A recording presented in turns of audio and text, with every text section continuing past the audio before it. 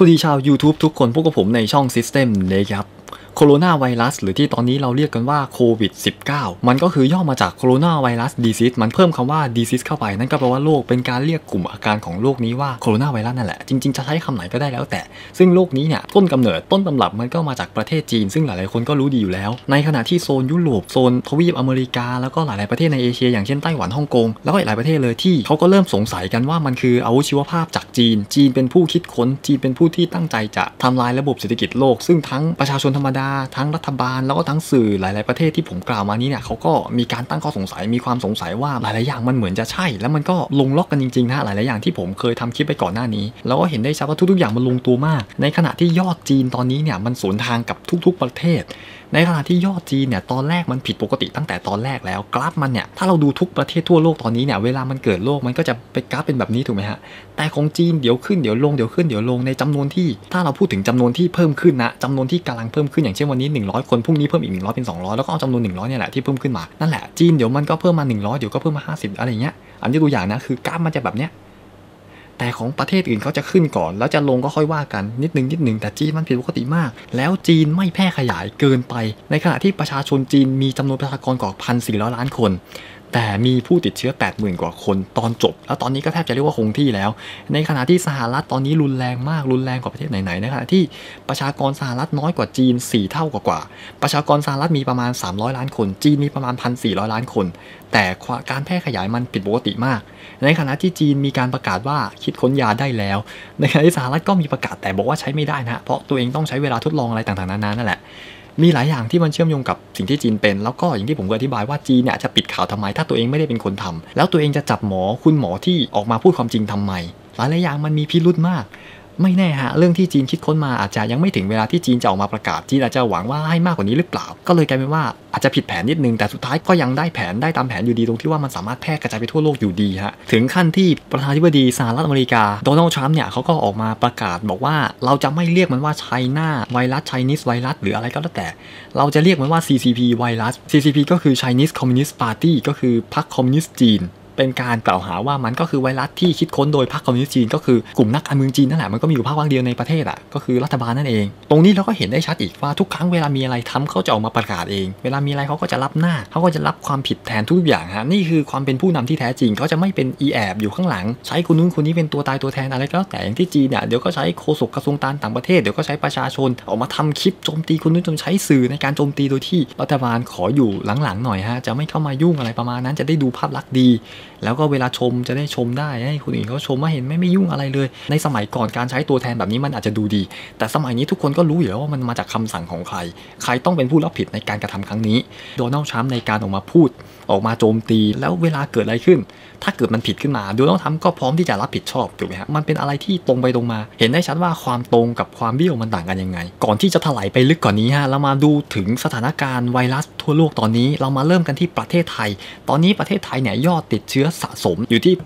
1,651 คน อันนี้คือสะสมไม่ใช่ว่าติดเชื้อตอนนี้นะฮะเราต้องไปหักลบอีกที เพราะกลัวบางทีเข้าใจผิดว่าเออจำนวนเยอะขนาดนี้ไม่ใช่ คือสะสมมาตั้งแต่แรกจนถึงตอนนี้นะมีเท่าไหร่ แต่หายดีไปแล้ว 342 คน เพราะฉะนั้นเราต้องหักลบ 342 ถูกไหมฮะ ก็จะเหลือประมาณ 1,300 นิดๆ เสียชีวิตตอนนี้ของเราเสียชีวิตไป 10 คน การเพิ่มพูนของเราเนี่ย ไม่ได้มากจนน่ากลัวขนาดนั้นไม่ได้มากอะไรเท่าไหร่ เพราะว่าอาจจะส่วนหนึ่งเพราะว่าบุคลากรทางการแพทย์เราเพียงพอ เรามีเทคโนโลยีทางการแพทย์ที่รับไหว ไม่มีปัญหาบวกกับส่วนหนึ่งที่สำคัญที่สุดก็คือประชาชนทุกคนเนี่ยต้องร่วมมือกันต้องช่วยกัน มันก็ทุกอย่างมันเป็นไปได้ดีมาก ประชาชนทุกคนเนี่ยตื่นตัวเราเป็นประเทศที่ตื่นตัวอะไรง่าย มันก็เป็นเรื่องที่ดีฮะการตื่นตัวมันทำให้ปรับเข้ากับสถานการณ์ได้เร็วเพราะเรารู้ข่าวเสร็จเราก็เริ่มตื่นตัวตั้งแต่เดือนมกราคม จนมันเป็นข่าวเออคนไทยส่วนใหญ่ก็ดูข่าวเกี่ยวกับโควิดอะไรอย่างเงี้ยมันก็เป็นเรื่องที่ดีมาก และสิ่งที่พลาดไม่ได้ฮะก็คือยุคของออนไลน์โซเชียลมีเดียเนี่ยแหละเป็นตัวทำให้คนเนี่ยตื่นตัวได้เร็วทำให้คนศึกษาข้อมูลได้มากขึ้น ข่าวสารมันทั่วถึงอะ่ะเพราะว่าอะไรเพราะว่ามีโซเชียลมีเดียฮะเรารับรู้ข่าวสารได้เร็วนี่ทั้ง YouTube Facebook อีกมากมายสื่อข่าวหลายๆสื่อที่พยายามใช้เป็นออนไลน์ใช้เป็นเว็บแทนไทยเราก็ถือว่าใช้โซเชียลมีเดียเป็นอันดับต้นๆของโลกเลยนะ ทั้งหมดนี้แหละทำให้ประเทศไทยเราเนี่ยไม่มากขึ้น ในขณะที่กราฟของเราตอนแรกมันดูเหมือนจะพุ่งขึ้น ถ้าเราดูตามกราฟจะเห็นว่าเกือบจะพุ่งขึ้นไปมากกว่านี้ แต่ก็เหมือนควบคุมอยู่จนดิ่งลงมา แล้วก็ตอนนี้ขึ้นลงขึ้นลงอยู่ในระดับที่ต่ำกว่าตอนที่สูงสุดนะไม่กี่วันก่อน ในขณะที่ทั่วโลกตอนนี้เนี่ยกระทบกันหนักมากในหลายประเทศ โดยเฉพาะสหรัฐอเมริกาจากช่วงแรกๆเนี่ยแทบจะไม่ติดใน 10 อันดับ จนถึงขั้นไม่กี่วันก่อนไม่อาทิตย์ที่แล้วเนี่ยก็เริ่มขึ้นมาขึ้นมา 3 2 จนตอนนี้ขึ้นมาเป็นอันดับ 1 แล้วทิ้งห่างจากจีนทิ้งห่างจากอิตาลีอิตาลีก็เพิ่มขึ้นมาเป็นอันดับ 2 แซงจีนแล้วตอนนี้จีนตกลงไปอันดับ 4 แล้ว สถานการณ์ในสหรัฐอเมริกาเนี่ยน่าเป็นห่วงมากทั้งหมดนี้เนี่ยมันกระทบต่อทุกคนในประเทศสหรัฐอเมริกาแม้กระทั่งคนไทยที่ทำกิจการในสหรัฐอเมริกาก็ผลกระทบเยอะหนะหลายๆคนก็มีการพูดคุยกัน ก็หวังว่าทุกอย่างจะฟื้นตัวเร็วผมเชื่อว่ามันไม่เกินความสามารถของรัฐบาลอยู่แล้ว มันจะต้องดีขึ้น กิจการมากมายตอนนี้ก็ต้องปิดตัวชั่วคราว เพื่อไม่ให้เกิดการรวมตัวการทำงานเยอะๆ หลายๆ คนมันจะเป็นการแพร่เชื้อมากกว่าเดิม แพทย์เองก็ต้องทำงานหนักมากขึ้น ตอนนี้ยอดของสหรัฐเนี่ยจะอยู่ที่จำนวน 185,270 คน ถือว่าเป็นจำนวนที่มากมากกว่าจีนไปแสนคนแล้ว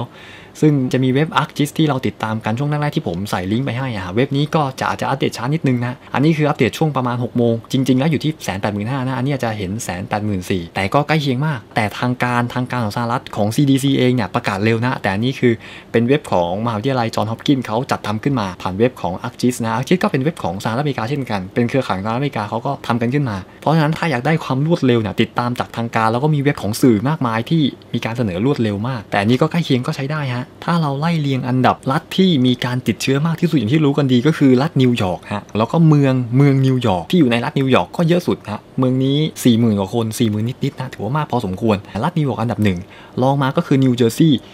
18,600 คน มิชิแกน แคลิฟอร์เนีย แมสซาชูเซตส์ ฟลอริดา อิลลินอยส์วอชิงตัน ลุยเซียนา เพนซิลเวเนีย จอร์เจีย เท็กซัส หลักพันหลายพันคนไล่ลงมาเรื่อยๆ ฮะ นี่ก็คือจำนวนที่ รวมๆกันแล้วมาก ในขณะที่นิวยอร์กเนี่ยทิ้งห่างกับคนอื่นมากที่สุด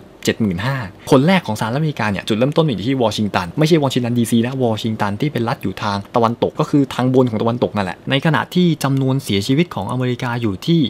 3,780 คน อันนี้คืออัปเดตช่วงตีห้าถึง6โมงเช้าประมาณนี้ อันนี้คือในประเทศสหรัฐอเมริกาเอง ทีนี้เรามาไล่เรียงอันดับของทั่วโลกกัน ว่าทั่วโลกตอนนี้ไปถึงไหนฮะ USA อย่างที่บอกฮะสหรัฐอเมริกาขึ้นเป็นอันดับหนึ่งรองลงมาก็คืออิตาลีที่แสนห้าพันคน แต่ก็มีข้อแตกต่างหลายอย่างเดี๋ยวเราอธิบายต่อฮะแล้วก็ลองลงมาสเปนอันดับ 3 จีนอันดับ 4 ก็แทบจะไม่เพิ่มแล้ววันหนึ่งอยู่ที่ไม่กี่สิบคน จนถึงแทบจะอาจจะเรียกว่าแทบจะหายแล้วอะสวนทางกับประเทศอื่นทั้งที่ตัวเองเป็นต้นเชื้อนะหลายอย่างมันผิดปกติจริง ๆ อันดับ 5 เยอรมัน อันดับ 6 ฝรั่งเศส อันดับ 7 อิหร่าน อิหร่านนี่ก็เพิ่มขึ้นแบบน่ากลัวจริงถ้าเราดูกราฟเราจะเห็นว่าอิหร่านเนี่ยมีกราฟตอนปลายที่โอ้โหเพิ่มขึ้นแบบจำนวนการเพิ่มนะไม่ใช่ว่า เท่าไหร่สะสมเท่าไหร่นะ แต่คือจำนวนที่เพิ่มขึ้นมาเนี่ยมันเยอะมาก อันดับ 8 ก็ UK หรือ United Kingdom ก็คือสหราชอาณาจักร 25,000 คน อันดับ 9 สวิตเซอร์แลนด์ 16,600 คน อันดับ 10 ตุรกี 13,531 คน แล้วก็ไล่เรียงลงไปฮะส่วนใหญ่เป็นโซนยุโรปฮะโซน top top ที่อยู่ติดอัน top top นะถ้าเรานับเป็นภูมิภาคเนี่ยส่วนใหญ่จะอยู่โซนยุโรป แต่ส่วนที่แตกต่างมากที่สุดระหว่างสหรัฐอเมริกากับยุโรปและประเทศอื่นๆเนี่ยในจำนวนที่เพิ่มขึ้นมากขนาดนี้เนี่ยมันจะมีข้อแตกต่างส่วนหนึ่งฮะก็คืออัตราการเสียชีวิต ที่มันแตกต่างกันมากของสหรัฐเนี่ยถ้าเราเทียบเอาจำนวนเมื่อกี้ 185,000 คนกับเสียชีวิตที่อยู่ราวๆ3,780 คนเนี่ยถ้าเราเอามาหารเป็นเศษส่วนเนี่ยอัตราการเสียชีวิตของเมื่อวานจริงๆผมคำนวณไว้นะยอดเมื่อวาน 1 8 0 0 0เนี่ยจะอยู่ 1.84%แต่ณวันนี้เนี่ยของสหรัฐอัตราการเสียชีวิตอยู่ที่ 2.02%ก็คือ 2%นั่นแหละ ถ้าลองลงมาล่ะอิตาลีอัตราการเสียชีวิตถือว่ามากพอสมควรมากแบบน่าตกใจก็คือ 11.3%ประชาชนร้อยคนเนี่ยต้องมี 10 คนที่ต้องเสียชีวิต 11 คน ส่วนสเปนลองลงมาก็ 8.7%ถ้าเราดูจีนจีนก็อยู่ที่ 4.02% ณตอนจบเนี่ยแหละ ส่วนเยอรมันนี่ก็น้อยกว่าสหรัฐอีกฮะ ด้วยจำนวนที่อาจจะน้อยกว่าบวกกับว่าการแพทย์อาจจะพอ อัตราเสียชีวิตอยู่ที่ 0.96%นั่นก็คือเป็นเปอร์เซ็นต์การเสียชีวิตต่อ 100 คนจะเสียเท่าไหร่แล้วก็นับเข้าไปเป็นเปอร์เซ็นต์ ส่วนหนึ่งที่บอกอาจจะเป็นเพราะเทคโนโลยีการแพทย์ของสหรัฐมีมากพอสมควรเพราะจำนวนสหรัฐเยอะมาก ในขณะที่เปอร์เซ็นต์เนี่ยมันไม่เพิ่มขึ้นมากขนาดนั้น เพราะว่าจริงๆแล้วถ้าสมมติจำนวนอัตราการติดเชื้อเพิ่มขึ้นมากขนาดนี้เนี่ยจำนวนการเสียชีวิตมันจะเพิ่มขึ้นมาก แต่สหรัฐยังถือว่าควบคุมอัตราการเสียชีวิตได้ ถือว่ายังมีการดูแลประชาชนอย่างทั่วถึงนะ การติดเชื้อไม่ได้แปลว่าไม่ดีการติดเชื้อจะแปลว่าตรวจพบเร็วตรวจพบรวดเร็วแล้วก็มีการให้ตรวจฟรีสหรัฐมีการเปิดให้ประชาชนได้ตรวจฟรีเพราะอาจจะตรงนี้แหละ แต่ไออัตราการเสียชีวิตเนี่ยน่าสนใจเป็นการบ่งบอกว่า ดูแลประชาชนได้ทั่วถึงขนาดไหนและการที่อัตราการเสียชีวิตมากเกินไปก็อาจจะแปลได้ว่าบุคลากรทางการแพทย์ไม่พอเพราะว่าวิทยาการทางการแพทย์ยุโรปก็ไม่ได้ด้อยไปกว่าใครนะแต่ว่ามันเพิ่มขึ้นอะในขณะที่บุคลากรทางการแพทย์เนี่ยรองรับไม่ได้ แพทย์ไม่สามารถรองรับจำนวนผู้ป่วยที่เพิ่มขึ้น เพราะว่าเขาไม่ได้ตั้งมาเพื่อรองรับแบบนี้โดยเฉพาะถูกไหมฮะโรงพยาบาลก็ตั้งรับเพื่อ 1,000 เตียงอะไรเงี้ยมันไม่ได้อยู่ๆมาเพิ่มมาเป็นหมื่นเป็นแสนแบบนี้ มันก็ไม่มีประเทศไหนสามารถรับได้นะถ้าเกิดมันเยอะขนาดนี้ ถ้าประเทศนั้นไม่ได้มีมากจริง ๆ บุคลากรทางการแพทย์ไม่ได้มากแล้วประเทศไม่ได้ใหญ่จริงริงถ้าเรามาดูประเทศไทยอัตราการเสียชีวิตของไทยอยู่ที่ 0.6%ก็ถือว่าน้อยมากๆฮะถือว่าน้อยน้อยกว่าเยอรมันแต่ด้วยอาจจะส่วนหนึ่งด้วยบุคคลที่ติดเชื้อเนี่ยไม่ได้เยอะมากขนาดนั้น เพราะว่าของเราอยู่ที่ 1,500 1,600 คน เพราะฉะนั้นมันก็น้อยแต่ถ้าสมมุติมันเพิ่มขึ้นเป็นแสนคนอัตราจะเพิ่มเพราะว่าแพทย์รองรับไม่ไหวโรงพยาบาลรองรับไม่ไหว แต่ตอนนี้ดีฮะยอดมันเป็นแบบนี้คงที่แล้วก็อยากให้มันเพิ่มขึ้นมากกว่านี้เพราะฉะนั้นทุกคนต้องช่วยกัน และประเทศที่ตอนนี้ถูกชื่นชมมากที่สุดก็คือเกาหลีใต้ฮะประเทศเกาหลีใต้ ตอนแรกเนี่ยมีข่าวฮะว่าจำนวนผู้ติดเชื้อเนี่ยเพิ่มขึ้นอย่างมหาศาลเยอะมาก แต่เยอะมากเพราะว่าเขาตรวจฟรีแล้วแถมเกาหลีใต้เนี่ยประกาศให้ประชาชน แล้วก็บุคคลอื่น บุคคลที่ทำงานผิดกฎหมายเนี่ยสามารถเข้ามาตรวจโรคได้ฟรีนะต่อให้ตรวจไม่เจอ แต่คุณสามารถเข้ามาตรวจได้ฟรีโดยที่ตมจะไม่เข้าไปยุ่งฮะโดยที่กฎหมายจะไม่เข้าไปบังคับอะไรคุณคุณตรวจแล้วคุณก็ออกไปแล้วก็จะกลับบ้านก็ได้ เพราะตอนนี้ก็ยังมีกฎหมายให้กลับบ้านได้โดยที่ไม่ติดแบล็คลิสอะไรเลย การบริหารของเขาดีมาก การตรวจการแพทย์ทุกอย่างทำให้ตอนนี้เนี่ยยอดของเขาอยู่ที่คงที่อยู่ที่ 9,000 กว่า ตอนแรกพุ่งขึ้นเยอะจริง แต่มันคงที่มากแล้วเพราะว่าเขาควบคุมอยู่ โดยที่เขาไม่ต้องไปบังคับให้ประชาชนห้ามข้ามเมืองห้ามไปต่างจังหวัดอะไรเงี้ยไม่มีสามารถควบคุมได้กันไม่ว่าตอนนี้เป็นที่ชื่นชม แล้วก็เป็นที่จับตาอย่างมาก ส่วนหนึ่งก็ด้วยวิธีการจัดการของรัฐบาลดี วิทยาการทางการแพทย์อุปกรณ์เพียงพอแพทย์เพียงพอ อัตราการเสียชีวิตของเกาหลีใต้เนี่ยต่ำกว่าสหรัฐจะอยู่ที่ 1.63%เนี่ยแหละครับถึงได้รับการชื่นชมจากหลาย ๆประเทศจากทั่วโลก ถึงขนาดนี้โซนยุโรปหลาย ๆประเทศต้องโทรไปปรึกษาเกาหลีเลยทีเดียวเกาหลีใต้นะในขณะที่จีนเองเนี่ยก็จะพพยายามจะใช้พวกบล็อกเกอร์จีนจ้าง พยายามจะหาอะไรมาเป็นเฟกนิวมาปั่นสหรัฐทำให้สหรัฐเกิดความเสียหายเกิดความขายขี้หน้า หรือทำให้ประชาชนสหรัฐตื่นตระหนก เพราะว่าจีนก็พยายามจะใส่ร้ายสหรัฐมาต่อเนื่องอยู่แล้วแหละข่าวล่าสุดก็หาว่าสหรัฐเนี่ยรับมือไม่ไหวแพทย์ต้องใช้เครื่องช่วยหายใจเยอะกว่านี้ ไม่พอแต่ทรัมป์ก็ออกมาประกาศแล้วว่าหลายเรื่องหลายข่าวที่ประกาศออกมามันเป็น fake news มันก็สะท้อนให้เห็นว่าสหรัฐก็รับมือได้เพราะว่าอัตราการเสียชีวิตไม่ได้มากขนาดนั้น ในขณะที่สหรัฐเองก็รายงานข้อเท็จจริงทุกๆแทบจะทุกๆ 10 นาทีทุกๆครึ่งชั่วโมงเลยทีเดียว ในขณะที่จีนถ้าเรามองไปที่จีนจีนรายงานวันละครั้งถึง 2 ครั้ง ถ้าเราเวลาไปดูยอดที่ผมเคยติดตามจีน วันหนึ่งจะอยู่ที่ครั้งถึง 2 ครั้งเต็มที่จะ 2 ครั้ง เท่าที่ผมติดตามผมแคปหน้าจอทุกวันทุกวันนะวันหนึ่งผมแคป2อสรอบก็จะอัปเดต1ถึง2ครั้งประมาณนี้ในขณะที่โอกาสตอนนี้เนี่ยทำให้จีนสามารถออกมาขึ้นแท่นว่าตัวเองเนี่ยเป็นประเทศที่สามารถจัดการนู่นอย่างนี้ได้ อย่างที่ผมเคยอธิบายคลิปก่อนๆว่า การทำแบบนี้ถ้าจีนเป็นผู้คิดค้นแล้วจีนเป็นผู้ทำให้เชื้อตัวนี้แพร่กระจายไปทั่วโลกเพื่อหวังทำลายเศรษฐกิจโลกแล้วก็ มันมีแต่ได้กับได้ฮะจีนมีแต่ได้กับได้ อย่างเช่น จีนเนี่ยสามารถจัดการเชื้อโรคได้จีนก็อาจจะมียาต้านไวรัสตั้งแต่แรกก็ได้ใครจะไปรู้ฮะถ้าเป็นแผนการนะถ้าถ้าเป็นแผนการของจีน จีนมีวิธีจัดการพร้อมตั้งแต่แรกแล้ว จีนก็แค่ปล่อยไวรัสให้มันเกิดขึ้น โดยต้องถ้าจะเรียกคะแนนความสงสารและให้ดูไม่ผิดปกติที่สุดก็คือการให้เชื้อโรคมาลงในประเทศตัวเองก่อน มันจะธรรมชาติถูกไหมฮะ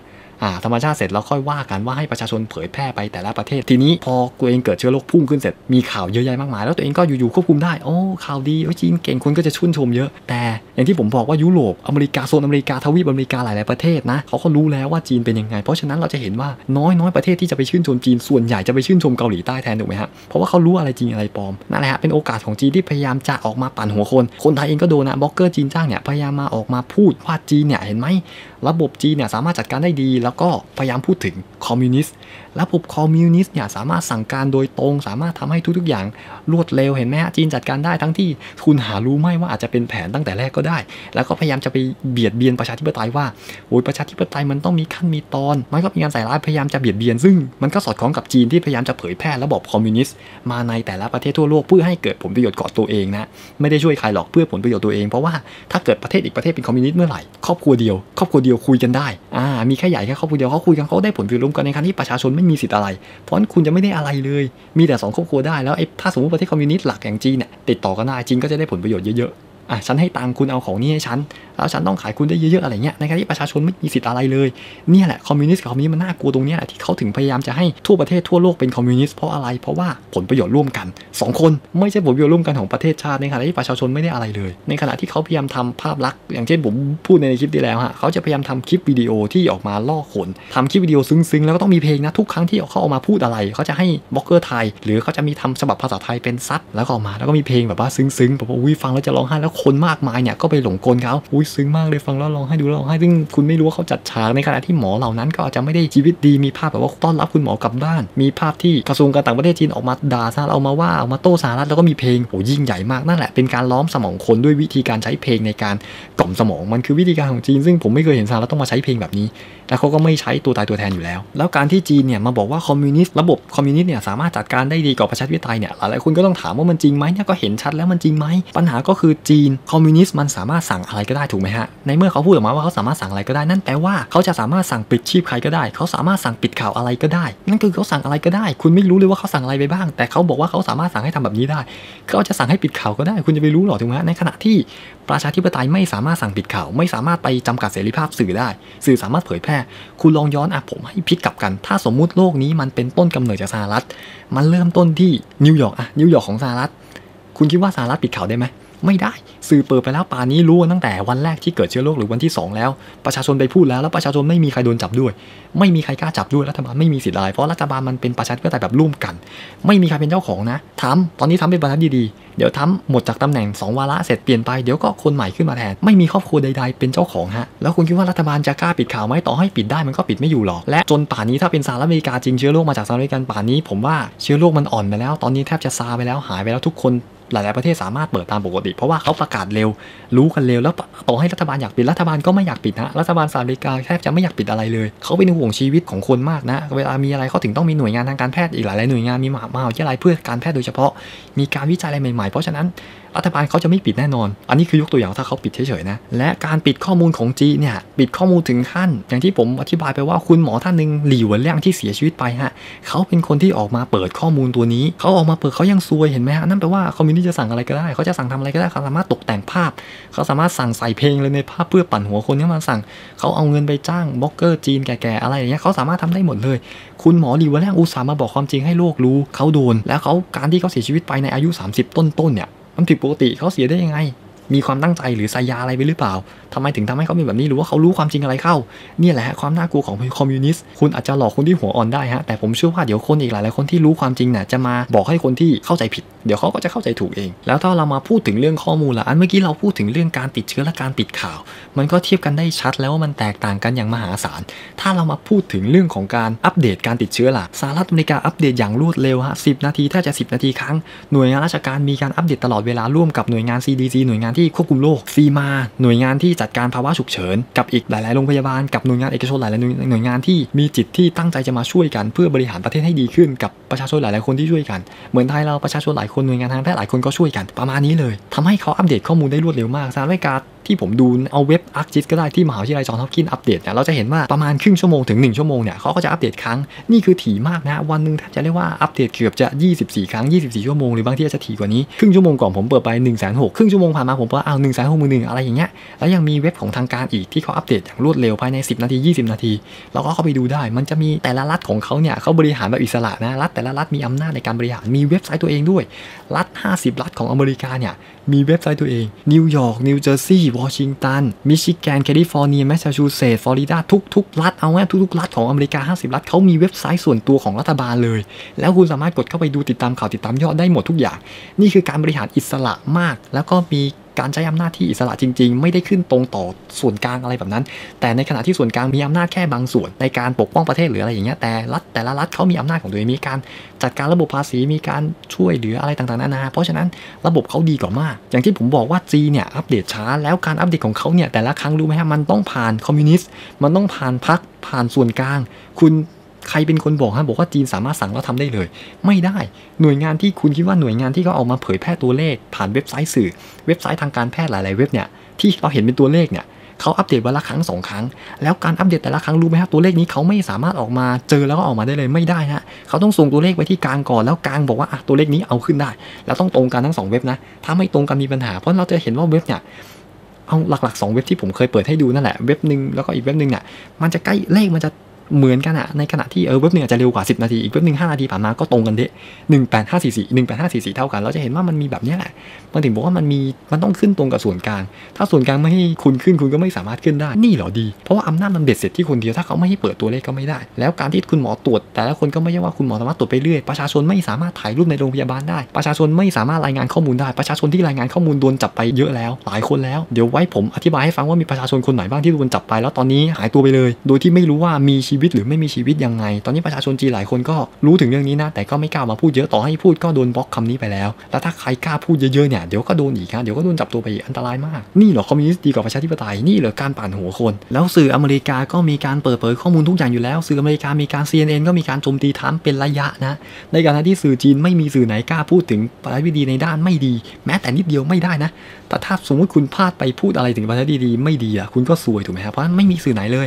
ต่างกันมันต่างกันแบบสุดขั้วเพราะฉะนั้นคุณจะเห็นแต่ภาพลักษณ์ดีๆของจีน ในขณะที่คุณจะเห็นภาพลักษณ์ไม่ดีของสหรัฐนี่ขนาดสื่อสหรัฐมีความอิสระในการรายงานความไม่ดีของสหรัฐ เรายังหาความแย่ของสหรัฐได้น้อยเลย ถ้าจีนเนี่ยสื่อสามารถเปิดเผยความร้ายความชั่วของรัฐบาลจีนแล้วก็ป่านี้เนี่ยกองเป็นภูเขาแล้วป่านี้จีนไม่เหลือแล้ว แต่ไม่ได้ไงฮะเนี่ยแหละความแตกต่าง ในขณะที่จีนอย่างเช่นโฆษกกระทรวงการต่างประเทศที่ออกมาด่าว่าสหรัฐเนี่ยเป็นผู้แพร่เชื้อ ที่เขานำหลักฐานว่าเนี่ย CDC ออกมายอมรับว่าผู้ป่วยของสหรัฐเนี่ยเขามีโรคตั้งแต่แรกมีโรคโคโรนาไวรัสอะไรสักอย่างเขาก็ไปเอา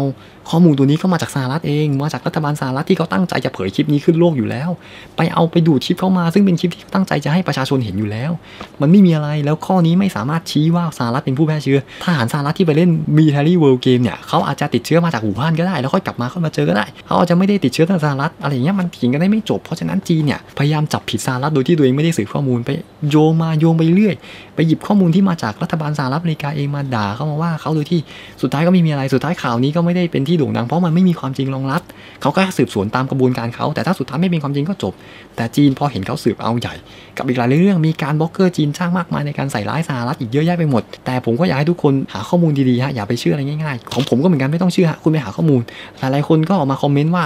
สิ่งที่ผมเสนอไปหลายๆคนไปหาข้อมูลแล้วเจอจริง ๆ แต่ถ้าคุณไปเทียบกับอีกคนเนี่ยก็จะใช้คำอย่าไปว่าไอ้มันสหรัฐมันนู่นนั่นนี่ มันหาเรื่องคนอื่นเขาไอ้ตัวช่วยอะไรอย่างเงี้ย มันเป็นเรื่องที่การใช้คำหยาบแล้วก็การใส่ร้ายแล้วก็การรับเงินมา พวกนี้เขาไม่ได้ทำเพื่ออุดมการหรือทำเพื่ออะไรใครสักคนนะเขาทำเพื่อเงินทั้งนั้น เงินอย่างเดียวจริง ๆ ตัวเองด้วยทำเพื่อตัวฉันเองนะ ไม่ใช่ทำเพื่อครอบครัวถ้าสมมุติต่อให้โจเนี่ยเข้าบ้านเขามีพ่อมีเขามีเมียมีลูกเนี่ยเชื่อเหอะไปเลยครับเอาไปเลยขอให้ผมรอดคนเดียวฮะลูกเมียไม่สนอะไรประมาณนั้น อันนี้ผมยกตัวอย่างเฉยนะ แต่ถ้าสิ่งที่ผมพูดคือความจริงนั่นแหละอันนี้คือความแตกต่างที่ชัดเจนของเขาทำเพื่อตัวเองจริง ๆ เงิน ในขณะที่ตัวเขาเองไม่ได้รวยเพราะความสามารถจริงๆกลายเป็นว่าเขาจะโลภเรื่องเงินอาจจะอยากได้มาก โดยมีวิธีมากมายในการเออมีเยอะจริงๆ เขามีลูกเล่นนะ โอเคครับ เดี๋ยวจะยาวเกินกว่านี้ เอาเป็นว่าข้อมูลทั้งหมดก็ประมาณนี้ วันนี้ผมก็ต้องขอชิ่งไปก่อน เจอกันใหม่คลิปหน้า สวัสดีครับ